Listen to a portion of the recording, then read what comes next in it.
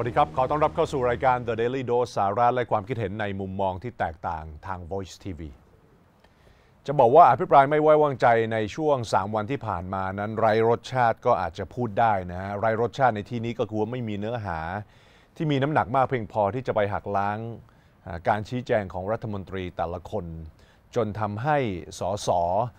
ของพรรคร่วมรัฐบาลนั้นยอมที่จะ ยกมือขึ้นมาไม่ไว้วางใจรัฐมนตรีคนใดคนหนึ่ง คือตามระบบรัฐสภาเนี่ยนะฮะถ้าเกิดมีเนื้อหาที่มีน้ำหนักมากเพียงพอ ที่สามารถกล่าวหาว่านโยบายที่ได้รับการปฏิบัติ โดยรัฐมนตรีแต่ละคนนั้น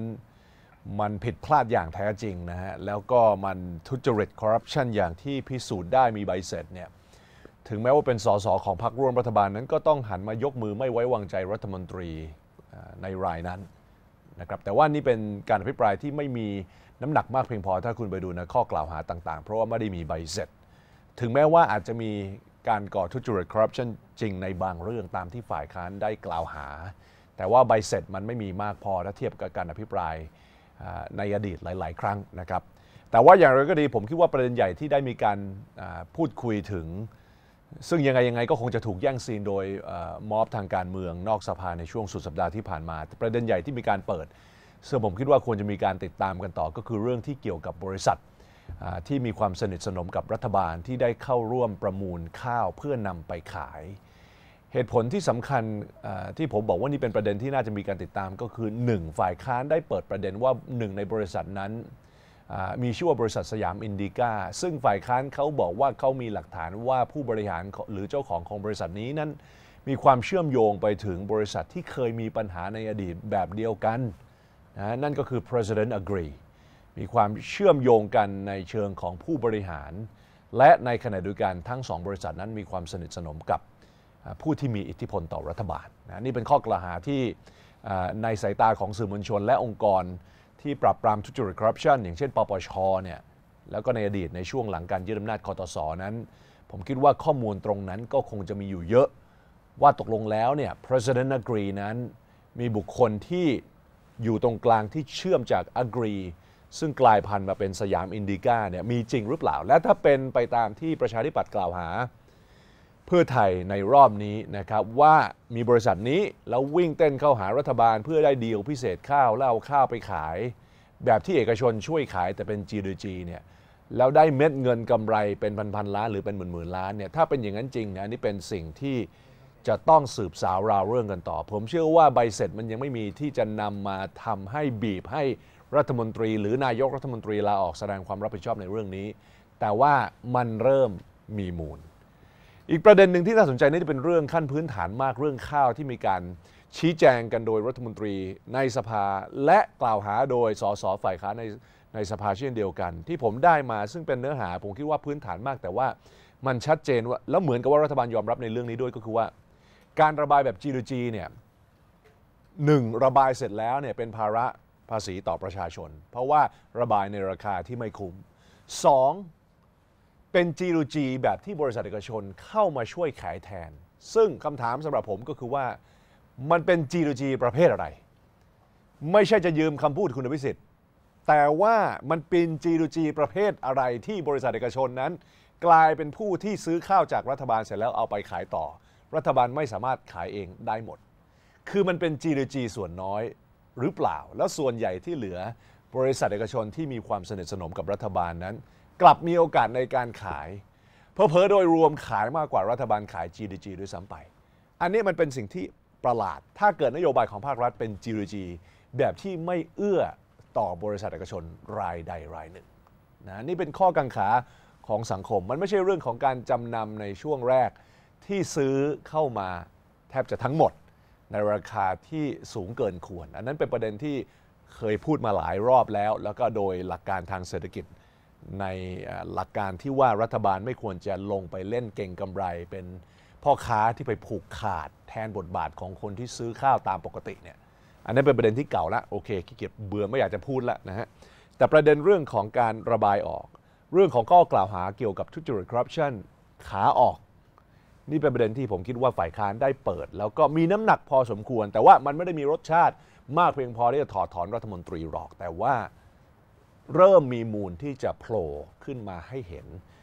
และสามารถสืบสาวราวเรื่องกันต่อได้ ซึ่งผมเชื่อว่าคงจะเป็นงานหลักของทั้งฝ่ายค้าน และทั้งทีดีไรแล้วก็นักวิชาการหลาย ๆ ท่านที่ได้เปิดประเด็นเรื่องจำนำข้าวในช่วงหลาย ๆ เดือนอที่ผ่านมา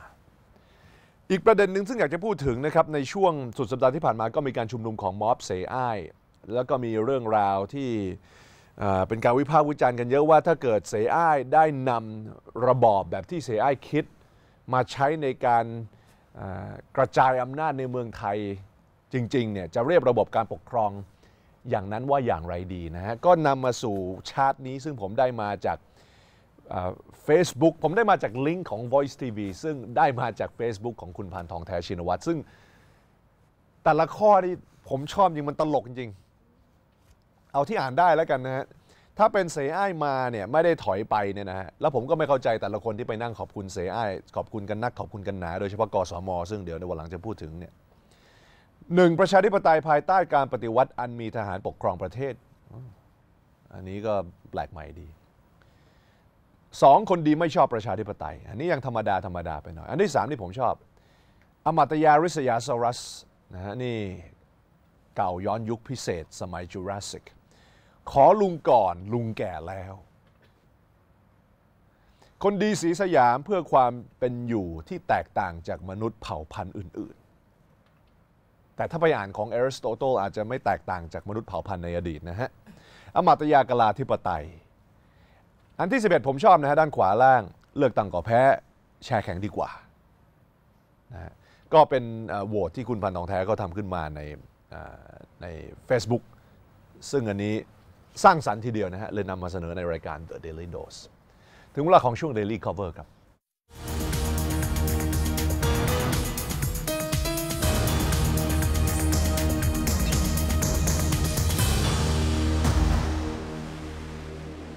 ดู Newsweek นิดหนึ่งนะฮะ Newsweek วันนี้ 100 perfect destination นะ special travel issue น่าจะมีเกี่ยวกับเมืองไทยด้วยถ้าลองอ่านดูข้างในนะครับลองอ่านดูได้ Newsweek นี่ เวลาออกมาต้องรีบซื้อนะฮะ มันจะเป็น collector's item เร็วๆ นี้นะฮะ เพราะว่า Newsweek เนี่ยขายไม่ค่อยได้แล้ว แล้วก็จะกลายมาเป็นเว็บไซต์ The Daily Beast อย่างเดียว เพราะฉะนั้นตอนนี้ผมก็รีบสะสมกักตุน Newsweek ไว้เพราะว่าอีกหน่อยเนี่ยนะฮะก็จะไม่มีขายแล้วจะเป็น The Daily Beast โอเค มีเล่มนี้ด้วยนะฮะ Time Magazine เรื่องนี้อาจจะดูเหมือนว่าเป็นเรื่องที่ไกลตัว แต่ผมว่ามันก็ใกล้ตัว เพราะว่าเขาบอกว่าวัดเนี่ยนะให้ดูเต็มเต็มเต็มเล่มนิดหนึ่งนะฮะ What อ่า to eat นะฮะ now เขาบอกว่า diet หรือสิ่งที่คนนั้นรับประทานในปัจจุบันมันเปลี่ยนไปจากเดิม the anti food snob diet นะฮะกินข้าวแบบที่มีอคติต่ออาหาร เออ มันเป็นอย่างไร คือในยุคปัจจุบันที่โหกลัวคาร์โบไฮเดรต low carb กลัวไขมันประเภทนู้นประเภทนี้เนี่ย คนกินอะไรยังเหลืออะไรที่กินได้อยู่บ้าง ทานได้อยู่บ้างก็ the anti food snob diet มันเป็นอย่างไร ลองอ่าน Time Magazine ดูพักกันสักครู่ครับ เดี๋ยวกลับมาในช่วงหน้านะครับ พูดถึงเรื่องของดัชนีตลาดหลักทรัพย์นะครับว่าช่วงปลายปีนี้ต้นปีหน้าจะไปได้ถึงไหนช่วงหน้าอากาศเปลี่ยนแปลงบ่อย ดูแลสุขภาพให้ดี ทิฟฟี่แผงสีเขียว ทิฟฟี่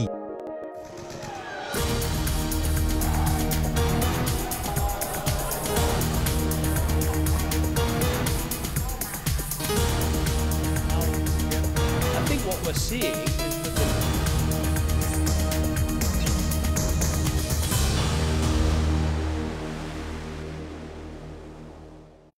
แบบทั้งที ต้อง GS Double Lid ทน ด้วยแผ่นธาตุพิเศษสูตรเฉพาะของ GS นาน ด้วยฝา 2 ชั้น Double Lid ชัวร์กับแบตเตอรี่ขายดีอันดับหนึ่งเลือก GS Double Lid ทน นาน ชัวร์ GS แบตเตอรี่เทคโนโลยีระดับโลก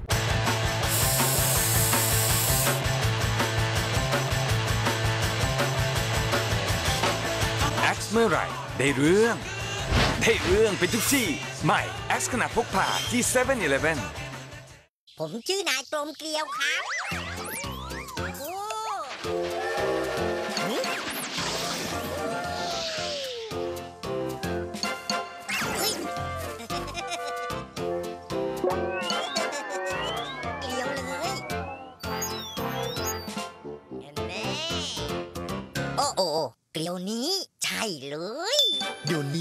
ใครๆก็กลมเกลียว หลอดตะเกียบแบบเกลียวเบอร์ 5 สวยจริงคุ้มจริง แล้วความลับของผมสวย จุดจบของรังแคก็ถูกเผย เพราะเส้นผมได้รับการบำรุงตามธรรมชาติจากหนังศีรษะ ครีมนวดผม Clear Anti Hair Fall ช่วยบำรุงลึกถึงหนังศีรษะ ช่วยขจัดรังแคให้ผมสวยดูสุขภาพดี Clear Anti Hair Fall Conditioner ผิวสวยเพอร์เฟกแบบน้ำตาลได้ ในขั้นตอนเดียวค่ะ ด้วยพรบีบีครีม ปกปิดทันที และช่วยลดเลือนจุดด่างดำ สวยเพอร์เฟกต้องพรบีบีครีม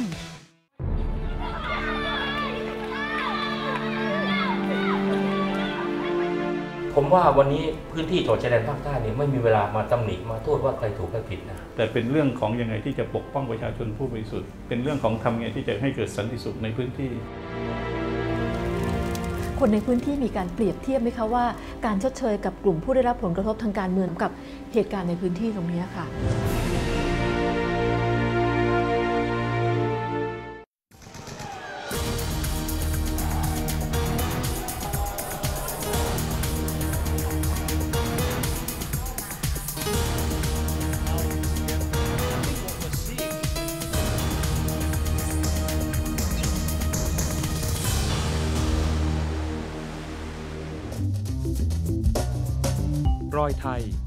ทำก็อร่อย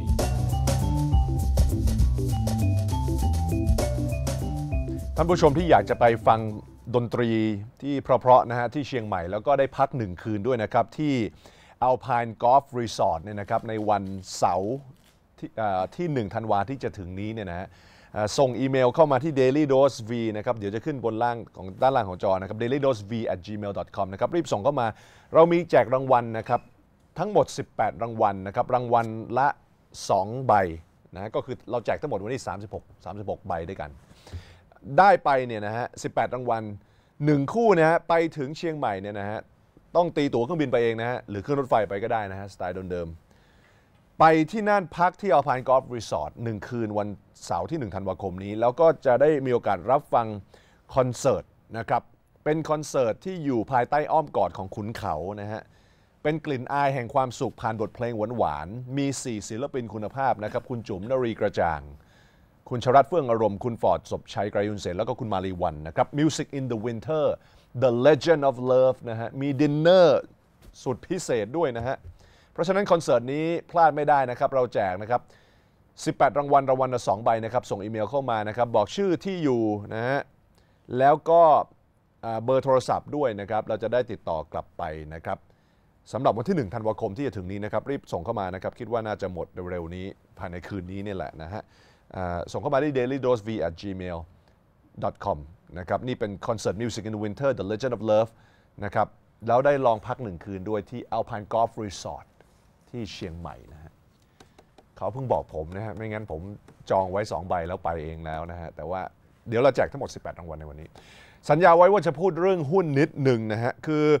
สิ่งหนึ่งที่ผมเชื่อว่าไม่เป็นปัจจัยในประเทศแล้ว และเป็นครั้งแรกตั้งแต่ปี 49 ก็คือการเมือง นักวิเคราะห์หุ้นทุกคนสามารถลบคำว่าเสถียรภาพการเมืองออกไปจากปัจจัยเสี่ยงที่จะมีต่อการลงทุนสำหรับหุ้นในเมืองไทยละลบทิ้งไปได้ ลบทิ้งไปได้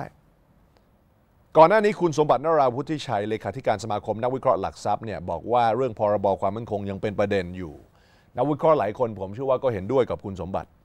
นะครับแล้วก็บอกว่าทิศทางหุ้นในช่วงปลายปี 55 นั้นดัชนีมีโอกาสปรับฐานลงมาทดสอบ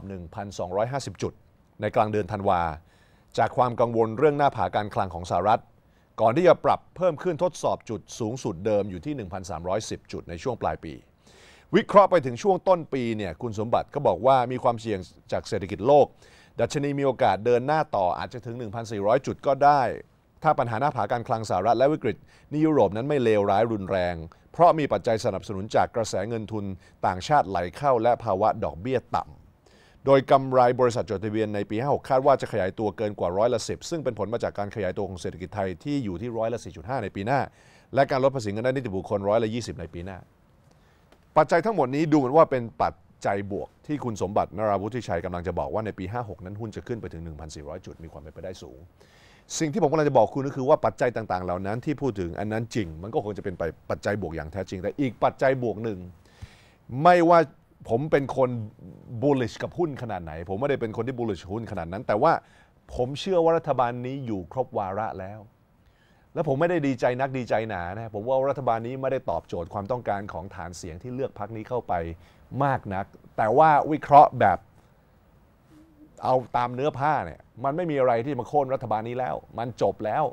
เกมในสภาขนาดรัฐบาลทำมาขนาดนี้ โครงการต่างๆ รวมถึงโครงการรับจำนำข้าว ฝ่ายค้านเล่นได้แค่นี้ มันจบแล้วฮะมันจบแล้วนอกนอกเกมนอกนอกสภา ก็เล่นได้แค่นั้นก็ม้วนเดียวจบ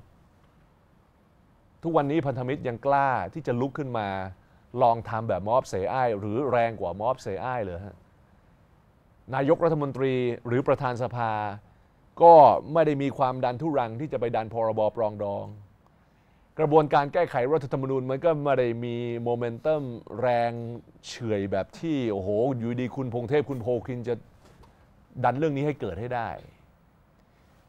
ปัจจัยความเสี่ยงทางการเมืองนั้นไม่เป็น ปัจจัยเสี่ยงสำหรับหุ้นอีกต่อไปในช่วง 2 ปีข้างหน้า เพราะฉะนั้นอัพไซด์มีอยู่เยอะ ถ้าจะมีความเสี่ยงอย่างแท้จริงคือความความเสี่ยงการเมืองในสหรัฐที่หาข้อตกลง ให้หลีกหนีวิกฤตหน้าผาทางการคลังไม่ได้ อันนั้นนั่นแหละที่จะทำให้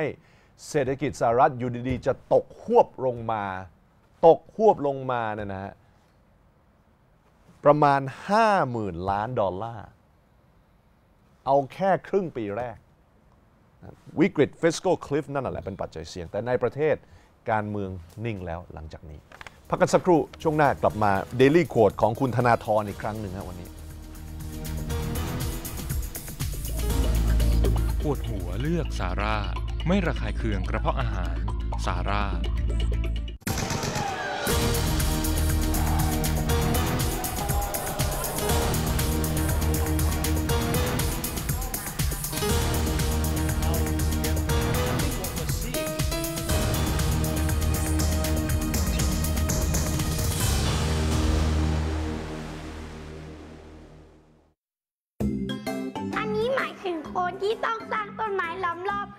ายความชื้น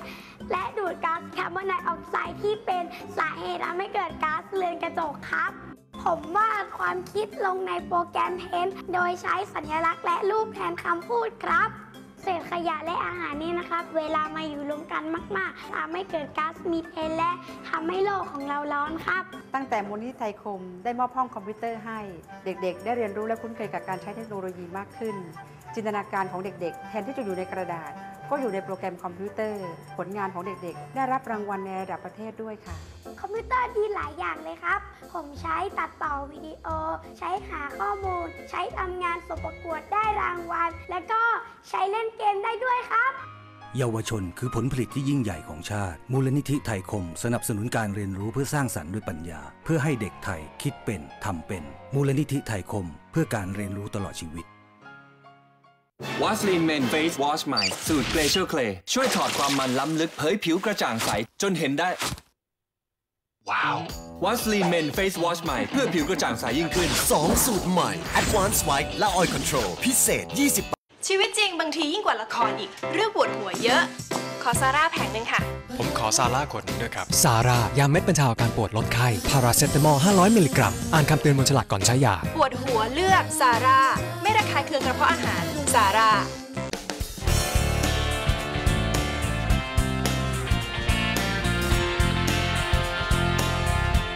ไม่ต้องอยากเป็นโรคไม่ต้องการคนที่สองเขามีคนที่หนึ่งก็มากพอละ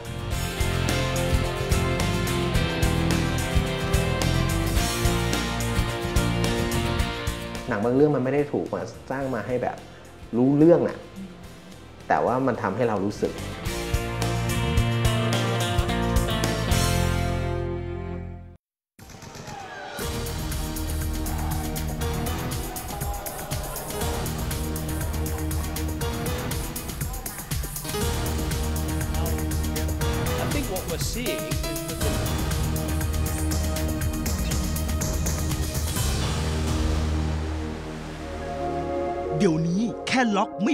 ต้องล็อกเตือนภัย ทุบร้อง เจาะร้อง ตัดสายไฟร้อง ออโต้ล็อกอะลามเป็นที่เข้าใจกันว่าถ้าคุณจะมีกองทัพเรือที่เป็นที่เคารพโดยกองทัพเรือของหลาย ๆ ประเทศเนี่ยคุณจะต้องมี aircraft carrier aircraft carrier ก็คือเอ่อเรือที่บรรทุกเครื่องบินได้นะฮะไม่ได้มีประโยชน์นักหนาหรอก เพราะว่าในปัจจุบันเวลาคุณจะออกรบเนี่ยมันก็มีโอกมีมีช่วงเวลาน้อยที่คุณจะได้ มีโอกาสน้อยที่คุณจะใช้ aircraft carrier ขนาดนี้นะฮะมันมีไว้เอาไว้ข่มขู่ประเทศอื่นๆ มากกว่าว่าคุณนั้นมีศักยภาพกองทัพเรือที่เหนือกว่าเขา นั่นคือเหตุผลที่สหรัฐอเมริกานั้นมีมี aircraft carrier หรือเรือบรรทุกเครื่องบินถึง 11 ลำ 11 ลำนะฮะของสหรัฐ อังกฤษมีอยู่ 1 ลำนะฮะ ฝรั่งเศสมีอยู่ 1 รัสเซียมีอยู่ 1 สเปนมีอยู่ 2 นะฮะ อิตาลีมีอยู่ 2 อินเดียก็มีอยู่ 1 บราซิลก็มีอยู่ 1 นะฮะ คราวนี้ ประเทศไทยก็อุตส่าห์ไปมีกับเขาด้วยหนึ่งลำทั้งนั้นที่ก็ไม่ไม่ได้มีประโยชน์อะไร เพราะว่าเราไม่ได้ไม่ได้ใช้นะฮะแต่ว่าเราก็มีเราซื้อมานะฮะแล้วก็ในขณะเดียวกันของอจีนเนี่ยก็พยายามที่จะสร้างของตนเองมาตั้งนานแล้ว แต่ว่าก็ไม่สำเร็จสักทีในที่สุดเนี่ยก็ไปซื้อมาจากยูเครนนะฮะในปี 1998 แล้วก็เป็นเรือที่เอามาปรับปรุงใหม่สองวันที่แล้วเนี่ยจีนได้ประสบความสำเร็จครั้งแรกที่ได้ทดสอบการ ขึ้นเครื่องและลงเครื่องของเครื่องบิน J15 เทียบเท่า F18 เป็นความประสบความสำเร็จครั้งใหญ่ จีนไม่เคยสามารถเอาเครื่องบินขึ้นลงได้อย่างไม่มีความบกพร่องเลยในเครื่องบิน Aircraft Carrier นี่เป็นครั้งแรก เหมือนกับเป็นการประกาศสักดาให้สหรัฐอเมริกาทราบว่าเฮ้ยจีนนั้นมี Aircraft Carrier แล้วสามารถใช้เครื่องบินบินขึ้นบินลงได้แล้ว แต่สำหรับคนที่เป็นห่วงว่าจีนจะมาเป็นมหาอำนาจของโลกเนี่ยนะฮะ ให้ทำความเข้าใจก่อนว่า อเมริกามีอยู่ 11ลำ11 เครื่อง จีนมีอยู่หนึ่งอเมริกามีที่มีแล้วทิ้งไปแล้วเนี่ย50 กว่าเครื่อง 50 กว่าลำมันยังห่างไกลกันเยอะ แต่จีนก็เริ่มละเริ่มที่มี aircraft carrier Daily Code วันนี้นะครับ จากคุณธนาธรจึงรุ่งเรืองกิจนะฮะผมได้ไปเข้าไปอ่านเว็บประชาไทย แล้วก็มีมุมมองเกี่ยวกับ สภาพแวดล้อม สิ่งแวดล้อม green aspirations กับ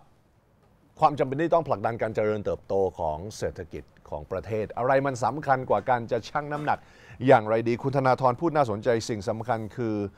ถ้าเรา enforce ความเขียวมากขึ้นเท่าไหร่ ผลกระทบมันจะกลับไปอยู่ที่คนที่มีโอกาสทางเศรษฐกิจน้อยกว่ามากขึ้นเท่านั้น ต้องเลือก พอถึงพูดเรื่องเขียวเนี่ยพูดเรื่องกรีนเนี่ย มันไม่ได้เป็นเรื่องของสิ่งแวดล้อมอย่างเดียว มันเป็นเรื่องนโยบายเข้ามาเกี่ยว มันเป็นเรื่องของเลือกนโยบายแล้วว่าคุณจะเอาเขียว เขียวขนาดไหนอย่างไร มันไม่ได้ง่ายและเบ็ดเสร็จขนาดนั้น ในการตอบเรื่องการพัฒนากับสิ่งแวดล้อม ความสมดุลของสิ่งต่างๆ เหล่านี้คืออะไร ถ้าจะเน้นหลักการที่เป็นแบบมนุษย์นิยมเนี่ยมันไม่ต้องกรีนแล้วฮะมันไม่ต้องรักษาสิ่งแวดล้อม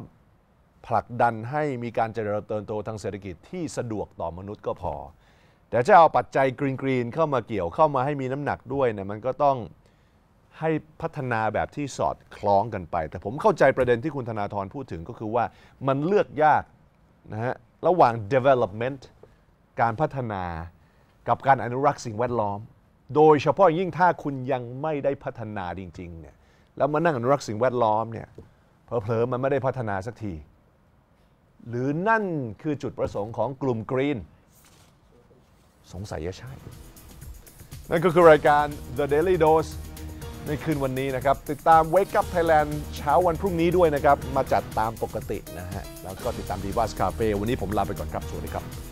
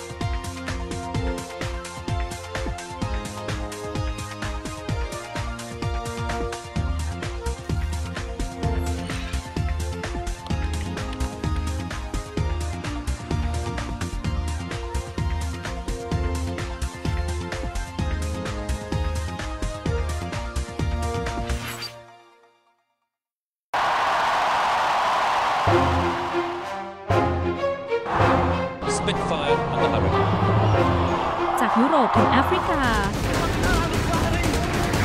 จากอเมริกาถึงเอเชีย ไม่พลาดทุกความเคลื่อนไหวสำคัญ ติดตามบรอัปเดตช่วงเวลาใหม่ 10 นาฬิกา ทุกวันทาง Voice TV เริ่มวันจันทร์ที่ 3 ธันวาคมนี้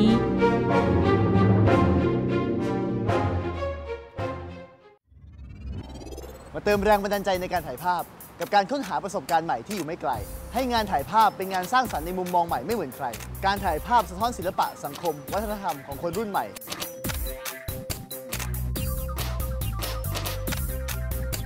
พบกับมุมมองใหม่ และเวลาใหม่กับรายการ Snapshot ทุกวันอาทิตย์เวลา 16นาฬิกาถึง 17นาฬิการายการที่จะทำให้การถ่ายภาพไม่ใช่เรื่องยากอีกต่อไป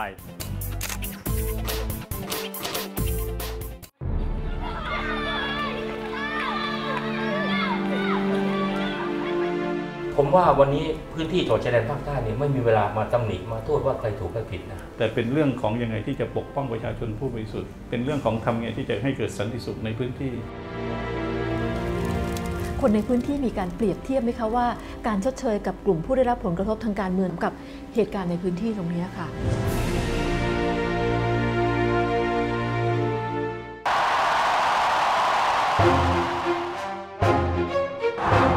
Spitfire ยุโรปถึงแอฟริกา จากอเมริกาถึงเอเชีย ไม่พลาดทุกความเคลื่อนไหวสำคัญ ติดตามบรอัปเดตช่วงเวลาใหม่ 10 นาฬิกา ทุกวันทาง Voice TV เริ่มวันจันทร์ที่ 3 ธันวาคมนี้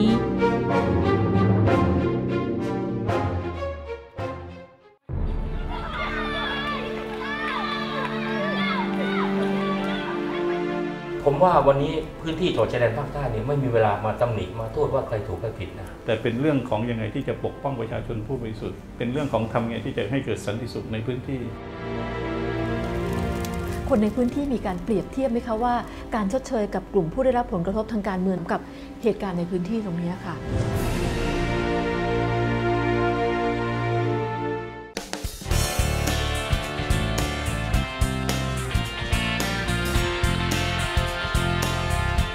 ไม่ต้องอยากเป็นโลกไม่ต้องการคนที่สองเขามีคนที่หนึ่งก็มากพอละ